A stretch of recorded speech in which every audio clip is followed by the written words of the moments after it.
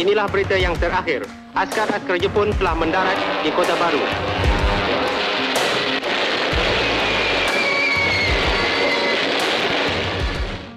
Pak, izinkanlah saya pergi bersama Ajin menjadi askar, Pak. Siapa suruh awak stand easy? Saya bilang standard ease. Kau faham standard ease? Jepun datang 20, stand tu. Saya pun. Macam, boleh menang tak?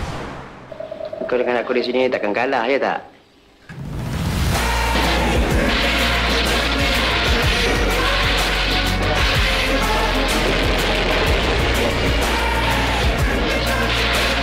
Dua batu dari sini ada sebuah lori Jepun. Lebih kurang sudah empat hari terbengkalai di sana.